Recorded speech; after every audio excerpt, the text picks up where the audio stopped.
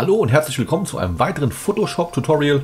Ich bin der Oliver und heute gibt es mal eine Sache, von der ihr mit 99%iger Wahrscheinlichkeit noch nie etwas gehört habt, denn es gibt in Photoshop ein Zählenwerkzeug. Das findet ihr hier bei den Pipetten. Ich wähle das mal aus und jetzt kann man hier oben eine Farbe auswählen.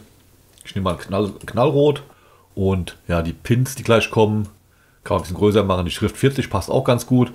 Und jetzt kann ich tatsächlich mit diesem Cursor hier Dinge zählen. Also ich fahre jetzt mal hier diese Rechtecke ab, die ich zählen möchte. Und so kann ich also auf diese Art etwas durchzählen. Ja, das ist relativ langweilig und auch einigermaßen nutzlos, weil das kann man auch mit dem Finger rauszählen. Und deswegen lösche ich das mal wieder.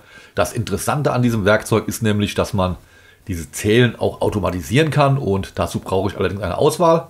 Deswegen gehe ich mal auf Auswahl, Farbbereich, wähle hier die Lichter aus hier oben. Und ja, der Kontrast ist relativ stark. Deswegen habe ich jetzt hier tatsächlich 21 Auswahlen für diese 21 Rechtecke.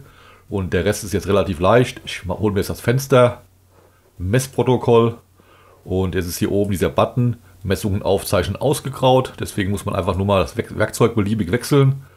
Und jetzt kann ich hier draufklicken und siehe da, ich habe 21 dieser Rechtecke, die jetzt ausgewählt sind und damit ist die Zählung hier abgeschlossen. Total spannend. Nee, eigentlich total langweilig. Aber Vielleicht habt ihr jetzt euren Horizont, was Photoshop angeht, etwas erweitert. Wenn ihr was gelernt habt, wenn ihr es genauso skurril findet wie ich, dann gebt mir einen Daumen hoch, abonniert meinen Kanal und tschüss bis zum nächsten Video.